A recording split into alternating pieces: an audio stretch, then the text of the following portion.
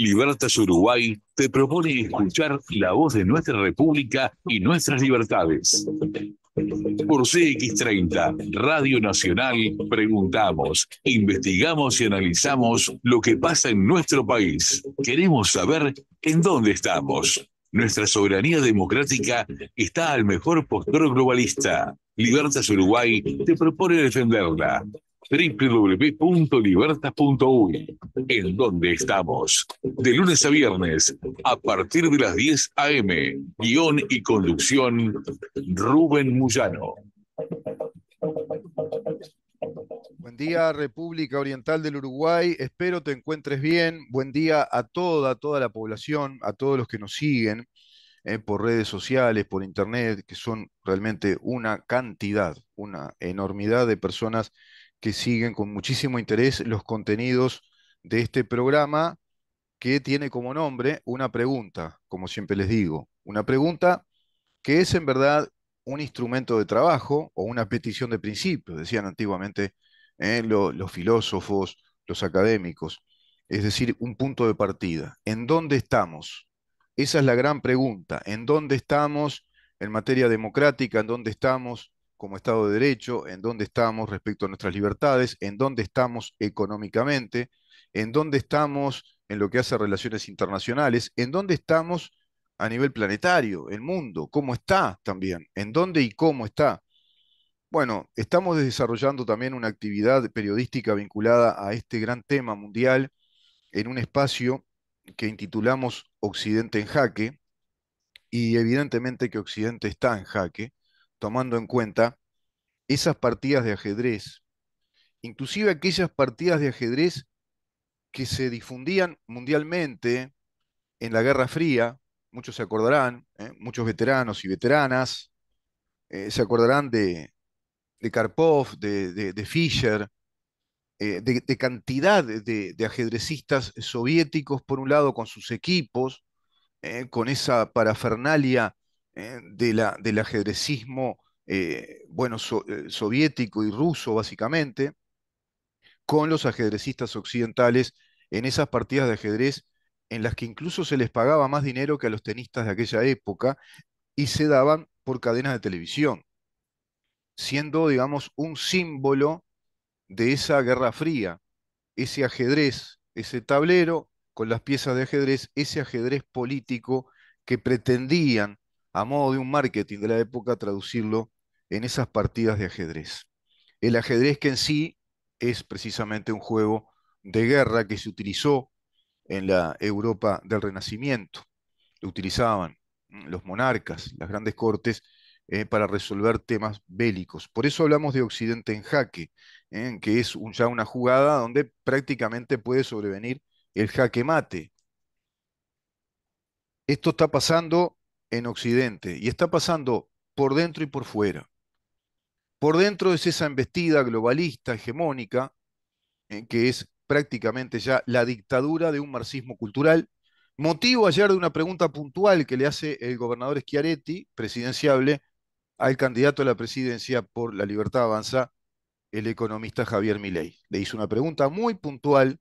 respecto a si en su gobierno él iba a adherir o aplicar la Agenda 2030, la cual refirió Schiaretti en reiteradas oportunidades en el debate que se dio ayer, el segundo debate en dos bloques en la República Argentina, en la República Hermana, respecto a los presidenciables. Ese debate presidencial en el que estuvo este, Sergio Massa, este, la doctora Bregman, Javier Milei, Patricia Bullrich y Schiaretti. En esa pregunta responde con absoluta naturalidad y contundencia Javier Milei, nosotros no vamos a adherir a la Agenda 2030. Y no vamos a adherir a la Agenda 2030 porque es marxismo cultural y es una dictadura que atrasa a los pueblos. Es marxismo cultural, todo eso es una receta de atraso a los países, a los pueblos. Fue contundente, claro, y es uno de los grandes temas por los cuales Milei tiene un capital electoral muy importante, instalando en Argentina esa revolución liberal, esa, conciencia inclusive de un país de libertades en las nuevas generaciones, se instala a modo de fervor popular, de adhesión, eh, inclusive emocional, pasional, por un cambio hacia un modelo liberal, hacia un modelo de las libertades y del respeto institucional, de un Estado de derecho que va a ser dificilísimo poder configurar en un gobierno que, bueno, va a, recibir un país que tiene un altísimo déficit fiscal, con un proceso inflacionario prácticamente ahí al, borde del precipicio hacia una hiperinflación y con graves problemas sociales a resolver. Pero lo cierto es que mi ley instaló esa épica del liberalismo y capitaliza un voto que creo yo, no equivocarme, prácticamente es el ganador hacia este, las elecciones y creo que arribó a este segundo debate ya como ganador, porque viene o proviene de, con un capital electoral muy importante, ya lo capitalizó, ya tiene ese capital electoral. Después vamos a hablar de este tema, del debate eh, en Argentina, pero vamos a este otro que tiene que ver con Occidente en jaque. Hice referencia, hice alusión a ese enemigo interno que tenemos en Occidente, a ese virus que está por dentro de la construcción de nuestros estados, directamente de la legislación que nos estructura y nos hace funcionar el Estado de acuerdo a esa dictadura globalista marxista, que es la Agenda 2030. Eso es el enemigo que tenemos adentro el enemigo que tenemos adentro es la natural convivencia, la naturalizada convivencia con coaliciones de izquierdas marxistas, marxistas-leninistas y todas sus variantes, eh, que conspiran fuertemente contra los modelos de desarrollo de nuestros países, como pasa acá en Uruguay. Y en el exterior, en el exterior hay enemigos brutales que jugando con esa debilidad de Occidente, jugando con esa debilidad y a posteriori de la pandemia, que retardó por dos años la economía mundial, eh, que estaba en un proceso de desarrollo, de apertura de mercados a nivel planetario, se globalizaba el modelo de negocios a nivel planetario, se incrementaba la productividad de Occidente, ya muy castigado por eh, eh, los efectos perniciosos de la prédica ambientalista dentro de la Agenda 2030, con esa parafernalia economicista de la economía circular, la energía verde, el hidrógeno, el cuidado del agua, la prohibición de las centrales nucleares de producción de energía, la prohibición del ganado, límite, el coto a la producción ganadera a los países ganaderos agropecuarios en Europa, que lidera este, van der Leyen, por ejemplo, todo eso que es el occidente debilitado y que en pandemia se debilita aún más y que desarrolla un proceso ya inflacionario como no lo tenía antes, tanto Estados Unidos como los países de Europa Central, y a posteriori de eso viene una invasión rusa a Ucrania, terrible, brutal, una agresión tremenda a la población civil, donde ya van cientos de miles de personas muertas, donde está paralizada esa situación de guerra, inclusive en la frontera. Esto se va a alargar muchísimo. Ya van dos años ¿eh? de guerra prácticamente desde esa invasión unilateral provocada por Rusia y por el gobierno de Vladimir Putin, pero que está alineado a la China comunista esa China imperial y a su vez a Irán. Irán es el país o el estado terrorista de los yihadistas que plantean precisamente esta guerra fanática para instalar el modelo teocrático, totalitario, de modelo socioeconómico socialista desde Irán al mundo. Ese es el, es el club de los tres matones, ese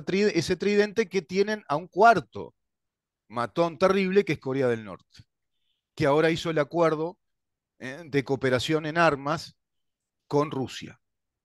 Corea del Norte que le está entregando armamento porque tiene armamento sofisticado de vanguardia porque es a lo que se dedicó el gobierno de Kim Jong-un, de, este señor este coreano. Este señor coreano que se dedica a fabricar armas, armas atómicas, a enriquecer, tiene grandes y grandes plantas de enriquecimiento de uranio, este, es una potencia ya nuclear, declarada que no se alinea a las, a las políticas este, armamentistas convencionales, que no se alinea al control de la energía nuclear, tampoco Rusia ahora también se desagrega de ese control del armamento nuclear, y es evidente que estas potencias, todas ellas en su conjunto, representan un mundo totalitario.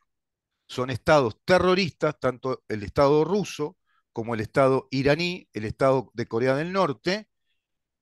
y muy solapadamente China, que se muestra como un país ya desarrollado que le compite a la economía de los Estados Unidos, pero que aún le falta un montón para tener el desarrollo económico, el desarrollo inclusive de una moneda fiduciaria de peso a nivel mundial como lo es el dólar, como lo es el euro también. Y están buscando por todos los medios, con brujería económica, querer destruir una moneda fiduciaria que es el patrón de intercambio mundial, moneda en la cual los industriales, los empresarios del mundo que cotizan en las ocho bolsas más grandes del mundo, bolsas de valores me refiero, y que eh, provienen de los países centrales del mundo, inclusive China, inclusive Rusia, cuando la crisis de la pandemia, en el 65% se refugiaron todos en el dólar, en ahorros, en cuentas, se capitalizaron en dólares, otro tanto en euros. No se habla eh, de la moneda china, por ejemplo. Estos países que son totalitarios, y acá me detengo en Irán, Irán que trabaja fuertemente acá en América Latina, que fue motivo del debate de ayer también al pasar, lo de las triples fronteras, lo de Irán eh, y su acuerdo ya de muchos años con Venezuela, Irán que acaba de hacer un acuerdo, el gobierno de Irán, con Evo Morales, un acuerdo con Evo Morales de cooperación este, industrial, comercial y también en armamentos. Evidentemente todo eso es el camuflaje para una cooperación en cuanto a una logística de operaciones acá y le va a aportar la tecnología de drones a Bolivia. Atente al lupo. Le van a aportar los drones con los cuales invaden el Medio Oriente y tienen hackeado todo ese Medio Oriente precisamente con su industria de drones y sus estrategias de drones, los iraníes ya enriqueciendo el uranio y seguramente ya fabricando también armas nucleares. Irán es el Estado terrorista que propició, que alentó y programó, no solo alentó y propició, sino que programó esos ataques de Hamas a Israel. Esos lamentables ataques del otro día que desde Libertas condenamos, y pueden ingresar a la página web de Libertas, libertas.ui, precisamente desde Libertas, porque este programa es una producción, una expresión de Libertas, la primer fundación liberal en defensa de la democracia, el Estado de Derecho, la República, nuestras libertades y el patrimonio de la humanidad de la convivencia pacífica de acuerdo a las leyes internacionales, a los reglamentos internacionales de la buena convivencia. En Libertas, evidentemente, nos adherimos a los principios del derecho internacional y la defensa contra el terrorismo. Por tanto, reafirmamos nuestro compromiso inquebrantable con los siguientes principios y normas del derecho internacional. Esto lo manifestamos en nuestra web, libertas.ui, a raíz de lo que sucedió en Israel con ese ataque que provocó a la fecha de ayer, no sé hoy si, qué, cuentas se están haciendo, lamentablemente, 150 muertos, población civil, gente inocente, civiles, eh, directamente civiles, de todas las edades, ancianas, mujeres jóvenes, eh, de todas las edades, 150 muertos, porque perpetraron una invasión mm, hacia el territorio israelí, montón de agentes terroristas de Hamas, de Hamas en la frontera de Gaza. Esta situación provocó esto y más de 2.000 heridos. Entraron, como Perico por su casa, con un tema que no viene ahora el caso analizar, que ayer lo analizamos con amigos, creo yo a raíz de un gran descuido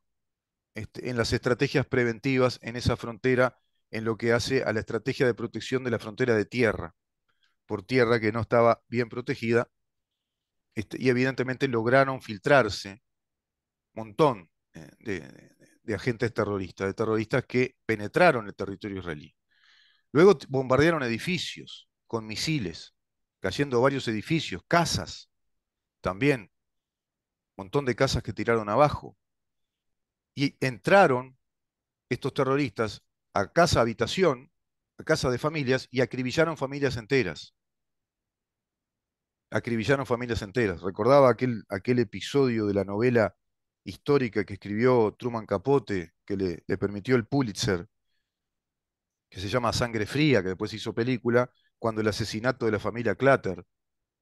que ingresan estos dos psicópatas a los cuales después va a entrevistar en una nota posterior el periodista y escritor Truman Capote, o Truman Capote, como me gusta decirle más a mí, y entraron y acribillaron a toda la familia Clatter, que era una familia de, productores agropecuarios. Bueno, me imagino de pronto decenas y decenas de familias Clatter acribilladas sin razón ninguna, sin razón, sin, sin lógica, sin nada, no tiene lógica acribillar a nadie, pero sin una lógica de guerra, porque, qué sé yo, fueron a, hacer un ajuste de cuenta a la familia de un espía, de un traficante de información, de, un topo. No, no, gente civil, común y corriente, de pronto estarían, qué sé yo, almorzando, cenando, entran a sus casas y son acribillados. Eso pasó ayer, antes de ayer, ante un país soberano, independiente, una república que está siendo atacada todo el tiempo, agredida todo el tiempo. Israel fue el país que fue atacado por cinco países distintos y gana la guerra. Israel que se funda en 1947, que tiene el apoyo de una cantidad de países en una primera instancia en la ONU, ONU fundada en 1945 como un organismo internacional, digamos, a modo de respuesta después de la Primera y Segunda Guerra Mundial, se decide esa fundación de la Organización de las Naciones Unidas con todos sus organismos y hoy por hoy multiplicando organismos internacionales al extremo de que son 17 organismos internacionales que funcionan en derredor, como si fueran satélites, en derredor de esa nave madre que es la ONU. Esa ONU tiene reconocido el Estado de Israel desde el año 1947. Uruguay es, es de los primeros países, eh, de la primera camada de países que reconocen al Estado de Israel. Y así se van dando reconocimientos. Es un país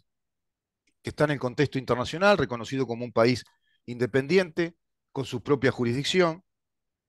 es decir, con sus leyes, su constitución, es una república, y es un país con un estilo de vida occidental, con una diáspora que incluso previa a la fundación del Estado de Israel y a posteriori también de la fundación es inmensa, está diseminada en todo Occidente y la diáspora judía es una diáspora occidental. Y nuestra civilización, a su vez, tiene una raíz profundamente judía, dado que tenemos una civilización greco-latina judeo-cristiana. Por lo tanto, este ataque terrorista del grupo Hamas, que es un grupo terrorista que lidera el Estado palestino y que pretende eliminar de la faz de la tierra a Israel y conquistar todo ese territorio que es de Israel porque consideran que es de la Palestina, planteando en verdad una lucha fanática religiosa, interpretando el Corán, es el Corán contra la Biblia. Esto es muy viejo además, ¿no? Pero que se instala de esta manera hace muchos años, que no para nunca, que todos los días Israel es asediada por misiles, todos los días disparan misiles, estos grupos terroristas jamás, y ahora se organizó esta introducción y esta matanza masiva, este acto terrorista que es simbólico y que le está indicando a Occidente, mirá cómo penetramos en Israel, un Estado independiente, soberano, ¿eh? que se ve afectado todos los días por nosotros, bueno, ahora directamente entramos y matamos un montón de gente. Y eso lo filmamos, porque ellos lo que hacen es alardear con esas muertes, cuando filman ejecuciones también, ¿eh? como lo hacen los grupos, como lo hacía Al Qaeda, como lo hacía el grupo de ISIS, como lo hace el Hezbollah. Bueno, que son todos esos grupos organizados en Hamas, que son todas organizaciones terroristas del fundamentalismo islámico que pretende tirar abajo nuestra civilización occidental y que han penetrado tanto en Europa, que está complicadísima con ese tema. Bueno, esto es un acto además muy determinante desde el punto de vista histórico. Tiene toda una simbología precisa. Se celebró en el Congreso de Irán esta matanza y se pasaba por televisión en Irán con festejos nacionales por las muertes que estaban provocando en Israel, por la muerte que provocaban de la población civil, por la invasión, muertes, bombardeo de las ciudades celebrando en Irán. Celebraban la muerte de civiles, de gente de un país. Por lo tanto, desde Libertad planteamos adherir, no le queda otra a la humanidad que adherir a los principios y a las normas del derecho internacional, como el derecho a la vida y a la seguridad de las personas, la prohibición del uso de las fuerzas en las relaciones internacionales, convenciones internacionales contra el terrorismo, colaboración internacional contra el terrorismo, protección de los derechos humanos, justicia y rendición de cuentas, prevención del extremismo violento. Todo esto lo encontrás en libertas.uy. Me parecía importante hoy tratar este tema en el programa. Es un tema clave. Esto va a provocar otra escalada a nivel mundial, otra escalada. Es Irán el que está detrás de todo esto. Irán, te repito, es socio de Rusia y de China, junto ahora a Corea del Norte. Hablamos de Irán, Corea del Norte, China, Rusia, hablamos de modelos totalitarios antioccidentales. Y a su vez, Occidente que está desnaturalizado en su identidad porque penetró una ideología del poder, una doctrina, que es un conjunto de dogmas cerrados a modo de ideas, eso es una ideología, en este caso marxista, desde el marxismo cultural, vale decir desde la estrategia de Antonio Gramsci, de culturizar a nuestros países, a nuestros estados y a nuestra sociedad con premisas colectivistas que desconocen abiertamente los principios liberales que construyen a Occidente en nuestros estados de derecho democráticos republicanos. Principio de igualdad ante la ley, separación de poderes, seguridad jurídica o estabilidad jurídica, transparencia de la función pública, funcionario público y no el Estado para los funcionarios, la administración necesaria, el Estado necesario para la producción de riquezas, modelos económicos de desarrollo, autonomía de, la, voluntad en las relaciones contractuales y negociales, es decir, la libre disposición de la voluntad para negociar, la libertad de expresión, la libertad de pensamiento fundamentalmente, la laicidad o la universalidad en la educación, la libertad de asociación, la libertad política, te repito, la libertad de expresión, la libertad psicomotora, la libertad de ambular, de trasladarte libremente, la libertad de pensar, la discusión de las ideas. Ese mundo con los derechos y, los, y las obligaciones que son iguales para todos desde la universalidad del derecho y la ley, principio de legalidad y universalidad de la ley, de acuerdo al principio universal que tiene el derecho de igualdad ante la ley, los mismos derechos y las mismas obligaciones como el eje articulador de un orden jurídico, eso es un orden, armoniosamente los factores están integrados a un orden, es decir, hay un todo que concibe cómo organizarnos racionalmente, ese modelo que acabo de decir está siendo fuertemente atacado, conculcado por un modelo marxista cultural que nos plantea otras premisas, nos plantea derechos de colectivos, nos plantea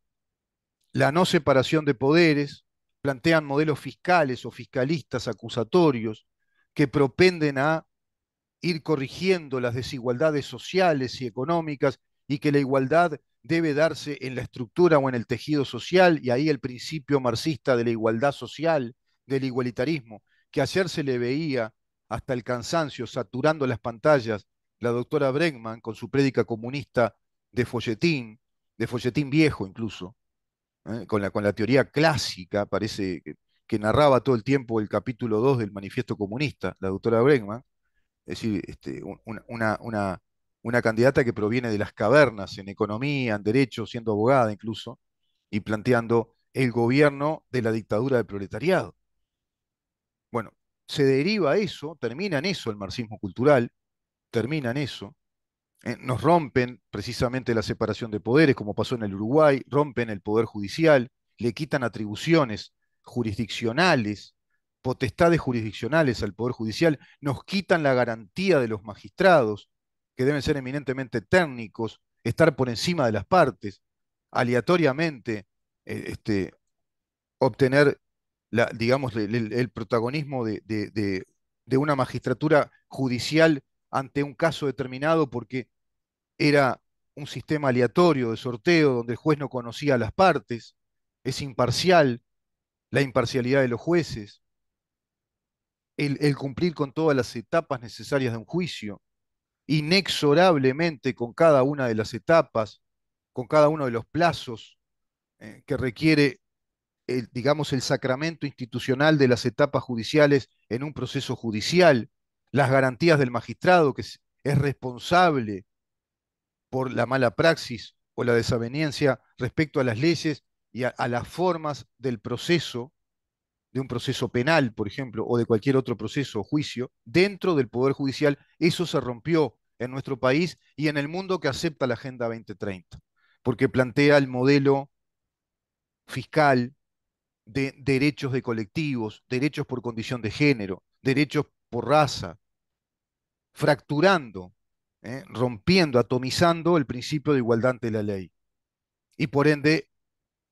la estabilidad jurídica porque tienen componentes o fundamentos economicistas de corte marxista precisamente, y también perfiles sociológicos, de interpretación sociológica más que de interpretación jurídica. Entonces hay elementos de interpretación sociológica, económica, ideológica incluso, que se introduce en la legislación de nuestros países y en temas tan sensibles como por ejemplo el sistema de justicia de todo eso de lo que Milei ayer dijo cuando dijo que se, se iba de la Agenda 2030, que él no adhiere a la Agenda 2030, porque la Agenda 2030 atrasa a los pueblos. La Agenda 2030 rompe con el proyecto de desarrollo de los estados de derecho. Vamos a una pausa, si te parece, Ramón, y continuamos, nos metemos un poquito más en el tema ya del debate argentino. Digamos una lectura de mi parte de lo que ha sucedido ayer, de quienes han destacado más por un montón de digamos, características que observé, cómo puede repercutir eso, bueno, lo dirán las encuestas en estos tiempos, ahora en estos días, saldrán las consultoras a decir, bueno, quién ha sido eh, eh, el más aprobado, digamos, pero te repito, creo que Milei ya viene con un enorme capital este, electoral y creo que es, volvió a ser ayer el ganador del debate. Y creo que en segundo lugar, aunque parezca mentira, el que ha destacado, ha tenido buena performance, ha sido Sergio Massa porque es un experimentado político y tiene capacidad argumentativa. Patricia Bullrich, de muy bajo nivel, paupérrima en su capacidad argumentativa, prácticamente fue una mujer que vino con eslogans, con frases hechas, bajando la vista y leyendo lo que le libretaron, muy nerviosa, temblorosa y acometiendo eh, con mucho furcio, eh, reiterando furcios, denotando digamos, el estado nervioso en el que estaba Patricia Bullrich. Vamos a una pausa. Buscamos, preguntamos, estudiamos, investigamos.